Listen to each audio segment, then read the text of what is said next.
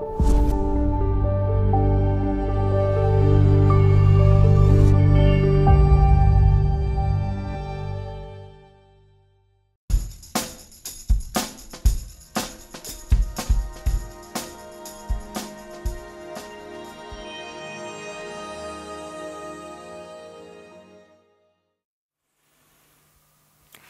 Dobrý večer, sledujete televíziu Lux a reláciu 1 na jedného a som veľmi rada, že dnes večer môžem privítať predsedu konferencie biskupov Slovenska otca arcibiskupa Stanislava Zlovenského. Pekný a poženaný večer. Ano, ja všetkým prajem požehnaný večer. E, od pondelka sa veriaci môžu zúčastňovať na bohoslužbách, čo konferencia biskupov Slovenska privítala. E, otec arcibiskup, stačí to?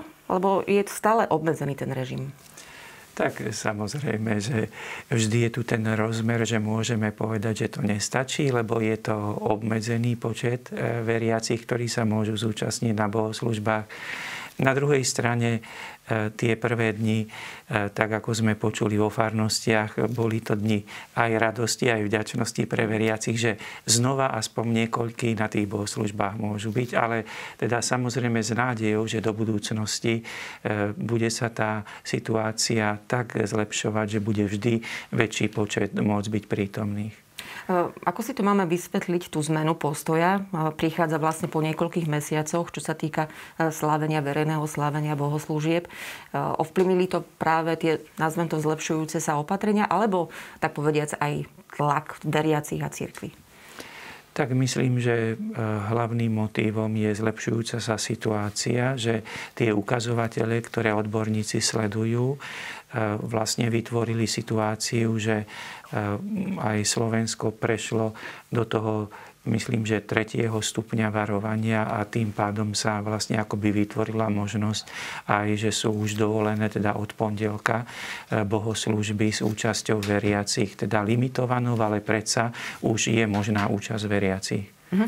Poďme teda e, k tým opatreniam, ktoré sa teda zjemnili, nazvem to týmto spôsobom. E, za akých podmienok sa teda môžeme zúčastňovať od pondelka na bohoslužbách?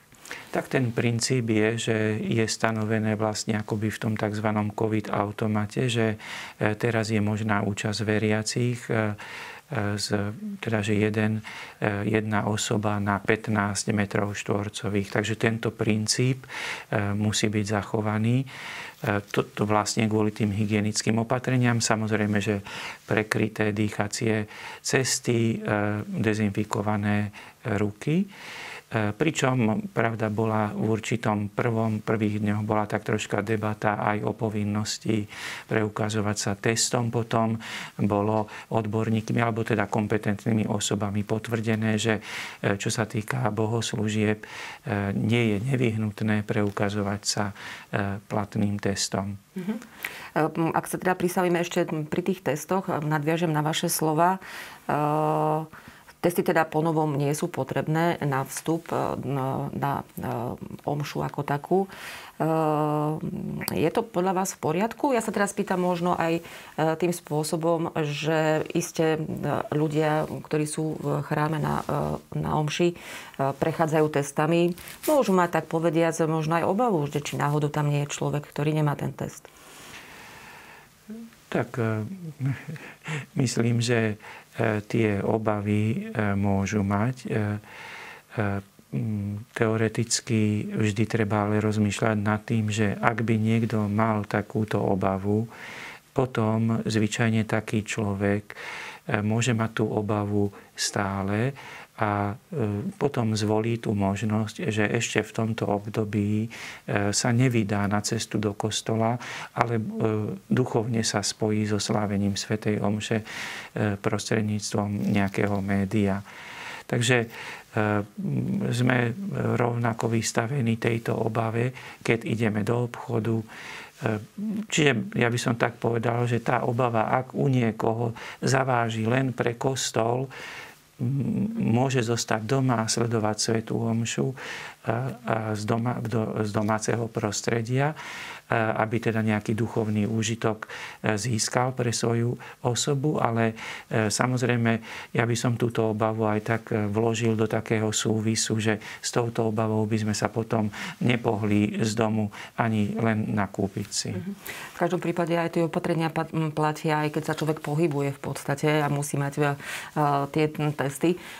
Sú tam nejaké výnimky samozrejme, alebo všeobecnosti, keď ideme aj do tých obchodov, tak vlastne potrebujeme mať tie testy. Aha. V každom prípade zaznievajú aj otázky e, práve v súvislosti s tým, že nie sú potrebné testy, čo sa týka vstupu na bohoslužbu. Otázky typu vy katolíci, to čo má znamenať, že ste si vybavili výnimku a na omše nemusíte mať testy. Čo by ste možno na túto pripomienku povedali? Tak e, myslím, že e, ono by to tak, je to také milé, že, že vy katolíci, lebo myslím, že platí to pre všetkých, aj pre evanielikov, že by nemuseli mať testy na ich bohoslužbách, alebo aj pre pravoslavných, ale dobre, zoberme to teda, že vy katolíci.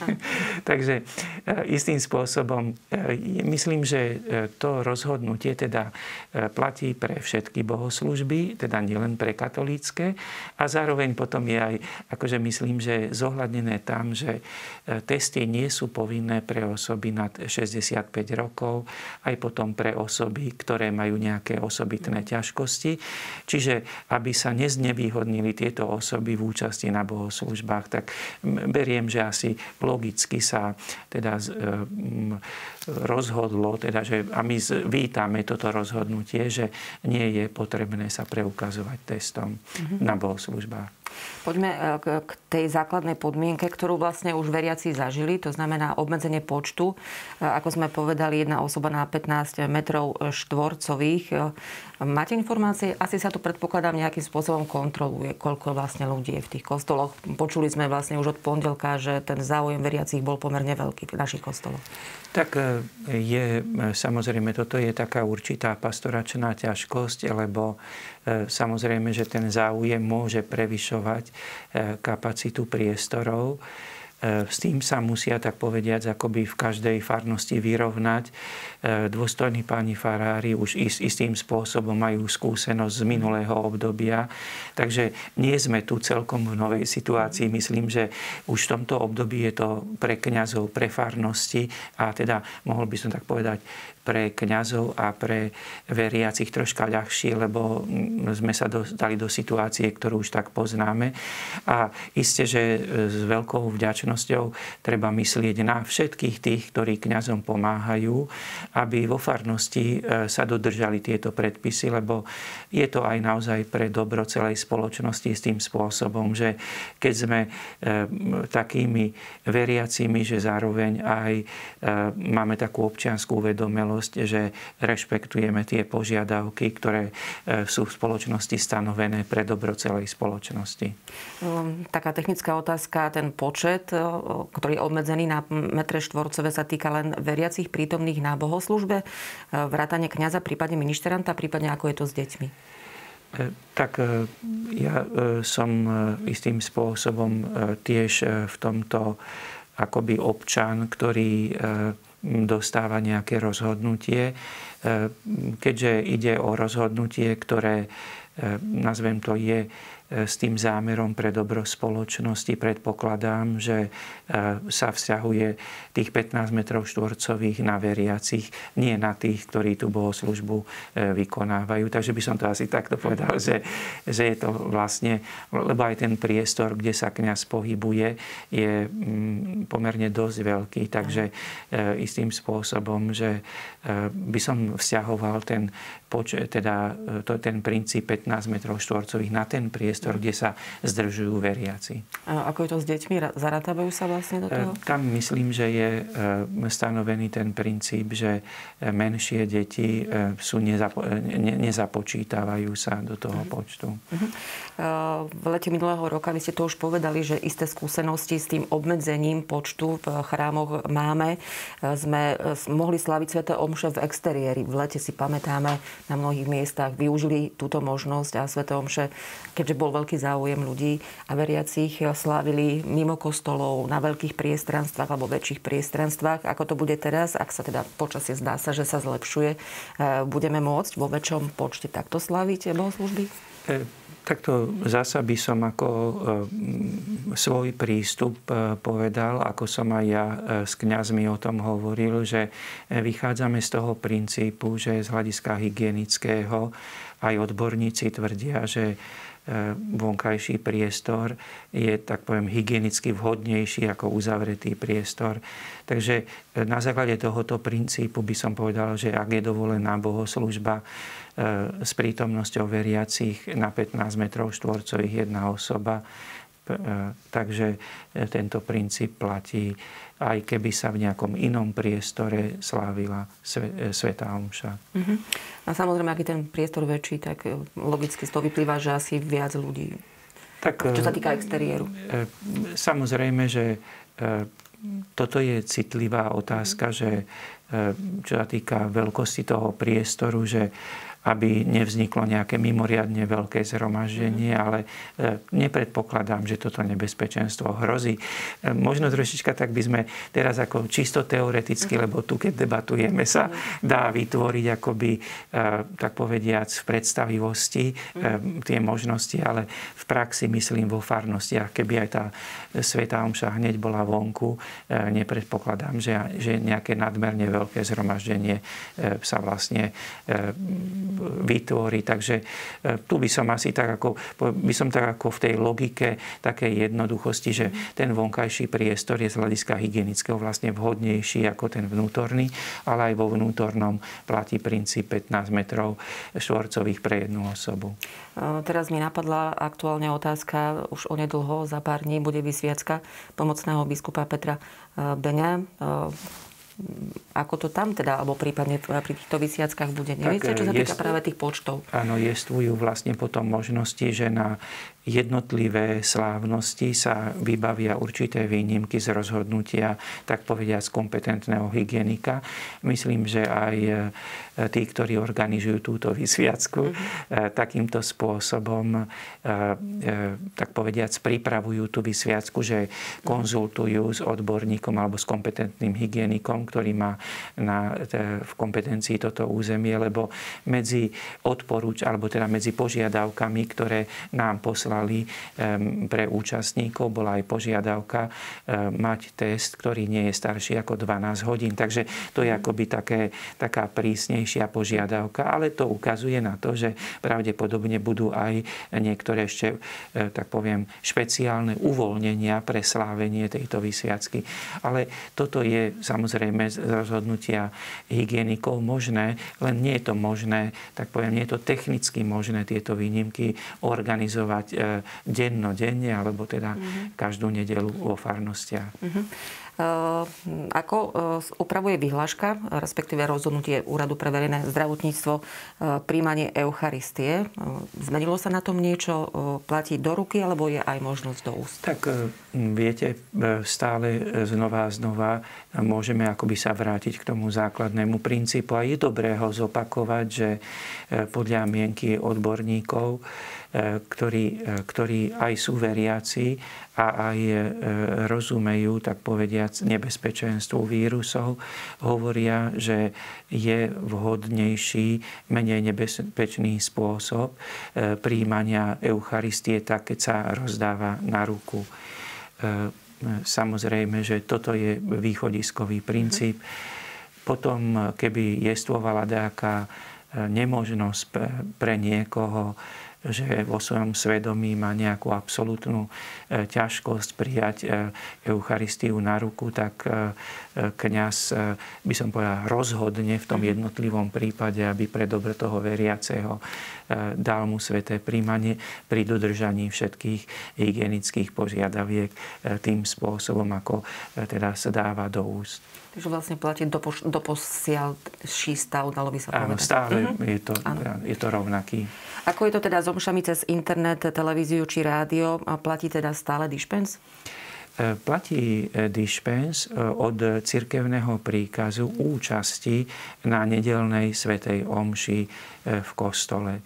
Tento dišpens stále platí, ale pre duchovné dobro sú všetci pozvaní využiť tie príležitosti, ktoré sú možné a to je teda spojiť sa duchovne so slávením Svetej Omše prostredníctvom nejakého média, či už televízie, rozhlasu alebo nejakého internetového vysielania. Mm-hmm. Asi by znela logicky otázka, máte už predstavu, kedy by tento dispens mohol byť zrušený, prípadne za akých podmienok? Tak pre pokoj svedomia pravdepodobne budeme tento dispens zvážime jeho zrušenie až potom, keď nebudú jestvovať žiadne prekážky mm-hmm. v účasti na Svetej Omši. E, to je, samozrejme by sme sa veľmi tešili, keby sa tá e, hygienická situácia, alebo teda, pardon, tá pandemická situácia a tie hygienické opatrenia uvoľňovali čím mm-hmm. rýchlejšie. Ale tak môžem povedať, že na otázku, že zrušenie alebo teda tak poviem, odvolanie toho dispenzu príde do úvahy potom, keď nebudú žiestvovať žiadne prekážky v účasti na Svetej Omši. Mm, takže z toho mi logicky vyplýva, že je to vlastne rozhodnutie cirkvi ako také v tomto prípade. Je to, lebo aj uh-huh. účasť na Svetej Omši je cirkevný predpis a e, v týchto mimoriadných e, podmienkach aj teda e, sme rozhodli, že o uvoľnení alebo oslobodení od tejto povinnosti.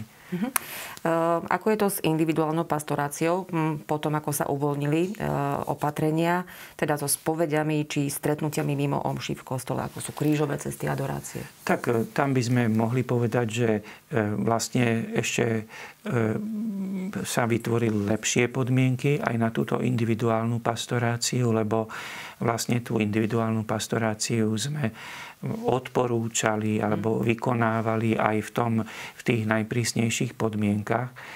A mm, teraz e, tým, že je už uvoľnené, tak môžem povedať, že samozrejme pri dodržaní všetkých hygienických pravidiel, že vlastne aj je možné, alebo je väčší priestor aj na tú individuálnu pastoráciu, alebo nenastáva ohľadom toho žiadna zmena.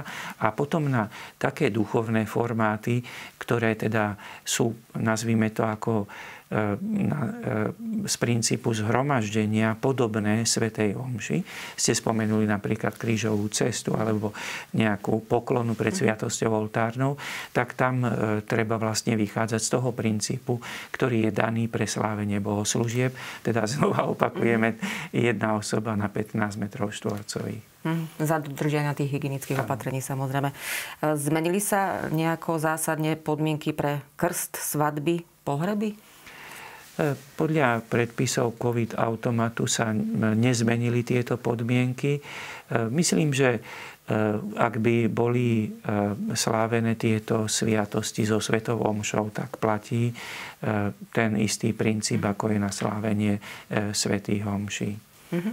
A čo prípadné prvé sveté príjmanie či birmovky, aké budú podmienky? E, tak e, to je v podstate, mohli by sme povedať to isté, že pokiaľ by sme na takéto osobitné slávnosti vo farnostiach e, neišli tou cestou, že by sme v podstate, ak by to bolo možné, vytvorili situáciu, že ľudia by mali, e, tak povediac, ten čerstvý e,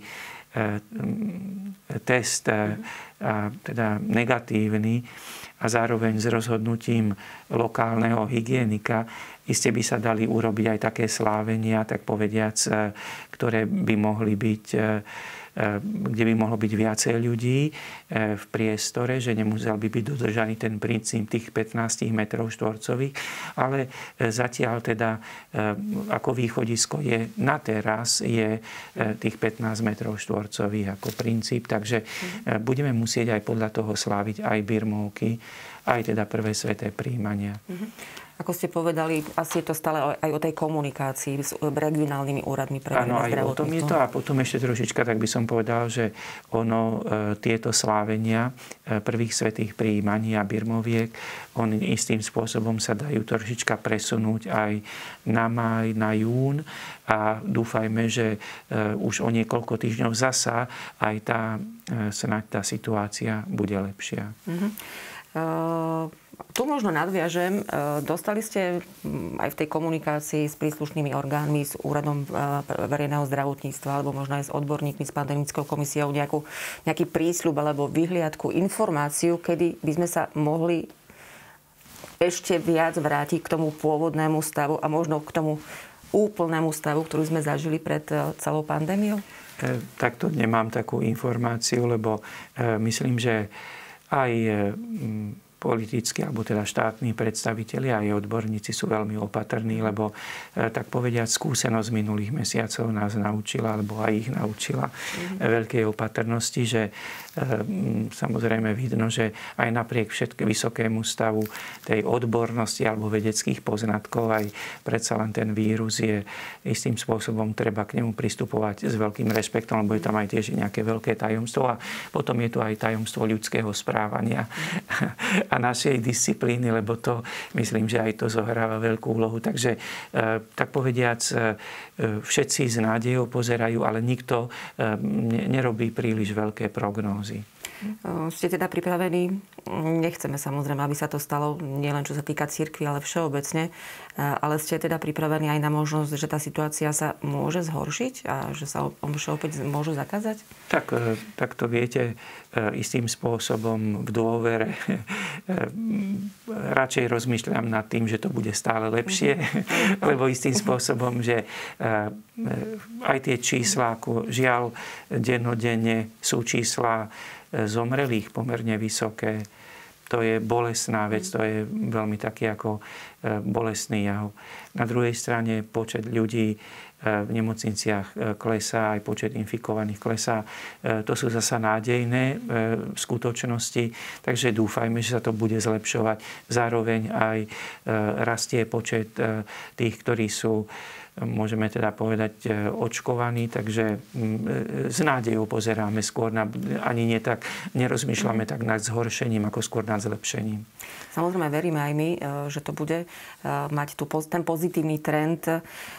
Ešte mi napadla, lebo počas tých uplynulých týždňov, mesiacov, kedy omše boli zakázané, v podstate ich kňazi slúžili pre veriacich prostredníctvom online sa aj veriaci e, sami pýtali e, alebo pripomínali, že v iných krajinách e, počas týchto dní tá situácia, ktorá tiež nebola úplne ideálna, možno niekedy aj horšia, až také reštrikcie, takéto zákazy, aké sme vlastne mali my, čo sa týka omší, neboli že ste sa až príliš podriadili, tak povediac, tej situácie politikom. Čo by ste mi na to povedali? E, tak, e, aj my sme toto opakovali. Myslím, že e, tento argument je všeobecne známy. Je to pozorovanie bežného človeka, ktorý sa zaujíma o situáciu u nás aj v okolitých krajinách. Dostupnosť informácií je veľká. Áno, pre nás to bola tiež taká otázka. My sme ju opakovane prednášali politikom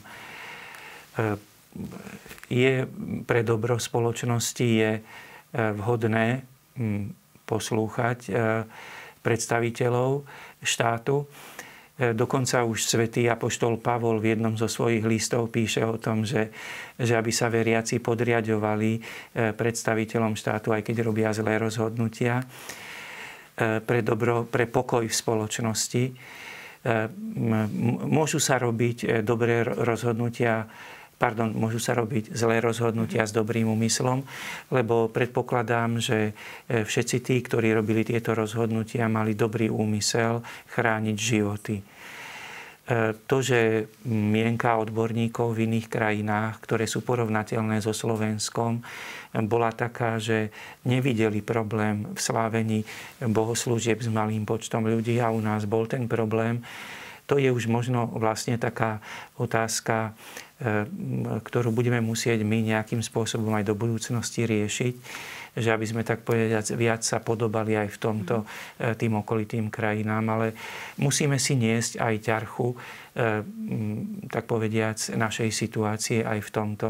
Nie len, že je tu pandémia, ale je tu aj nejaká reprezentácia, ktorú sme zvolili, ktorej sme tak povediac dali dôveru a musíme tak aj ich rozhodnutia prijímať s tým, že pre dobro spoločnosti, aby sme nezhoršovali situáciu. Istým spôsobom aj církev sa snaží napomínať, aj možno niekedy miernejšie, niekedy ostrejšie ale zasa mm, znova poviem, e, je veľmi dôležité aj e, napomáhať stále pokoj e, v spoločnosti, lebo len takým spôsobom môžeme aj tak povedať, vplyv pandémie na, na našu spoločnosť zabrzdiť. Otec arcibiskup, čo by ste na záver odkázali veriacim v týchto dňoch, kedy sa postupne uvoľňujú opatrenia, čo sa týka cirkvy? Čo by ste odkázali veriacim a čo kňazom, ktorí takisto ano. boli súčasťou týchto zákazov. Tak všetkým veriacim by som asi tak e, e, odkázal, alebo poďakoval im za trpezlivosť a za, môžeme povedať, e, ich chuť využiť aj túto ťažkú situáciu pre svoje duchovné dobro zároveň aj, že bojujú, ako všetci bojujeme s netrpezlivosťou, s nepokojom v duši a že sa to snažíme premáhať. A že znova, takže za toto im ďakujem a aj za to, že sa neustále modlia eh, na úmysel, aby, sme, aby nás Pán milosrdne oslobodil z tejto situácie. No a e, ku kňazom by som e, vlastne tiež povedal, že im ďakujem za ich službu, za ich pastoračnú kreativitu e, v týchto podmienkach, za obetavosť, e, za ako práve tú jednotlivú pastoráciu vykonávajú. Aj za, za tých kňazov, ktorí sú obetavo, že vstupujú aj do nemocnic, aj do tých rizikových prostredí a aj tam obetavo slúžia Takže je tu veľa za čo ďakovať Pánu Bohu, že máme aj dobrých kňazov, aj dobrých veriacich a v sile týchto ľudí, v týchto našich bratov a sestier ideme dopredu. A myslím, že e, práve aj v tom môžeme povedať, že nakoniec povieme, že e, Pán nám e, počas pandémie ukázal hĺbšie, že aká je tá správna cesta ho nasledovať tejto chvíli vám, otec arcibiskup, ďakujem aj vám teda za to, že ste si našli čas a prišli do dnešnej relácie jeden na jedného. Dobre. Ďakujem. Všetko, všetko dobré s Pánom Bohom. Pekný večer všetkým. To je z dnešnej relácie všetko. Želám vám ešte príjemný a poženaný večer.